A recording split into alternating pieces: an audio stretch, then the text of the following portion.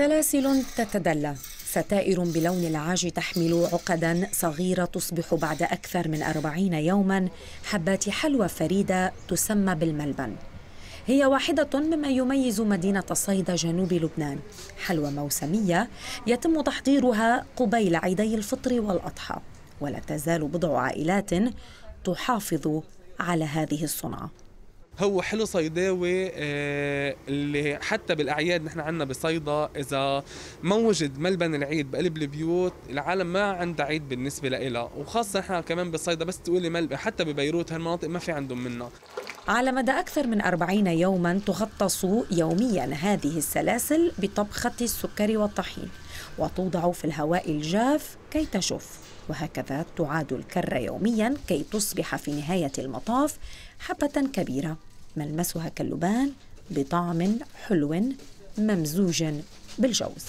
الملبن بدايته ببلش عبارة عن خيط وبننتقي الجوز المميز اللي هو بيتحمل هيدي الأمور وبيكون مميز بطعمته وبنشكه بالخيطان. نرجع من بعد منها بنبلش نجيب الطحين والسكر كمان اللي له عياراته خاصة لحتى يقدر يطلع معنا الطبيخ بالجودة اللي إحنا بنشتغل فيها. هو عبارة عن 45 يوم بينغط يوميا آه، وبينشر على الأسطح لحتى بآخر شيء بيطلع صب وحدة بيعلك. لا يعد الملبن حلوى لبنانية فكثيرون يرجعونه إلى مدينة نابلس. هناك تعلم صناعتها من هاجروا قديما كعائلة حجازي وأتوا بها إلى لبنان وهي في صيدا إلى جانب الراحة والتمور أكثر ما يباع في المحلات قبيل العيد. ملبن العيد المدلل جزء من التراث والهوية الصيدوية.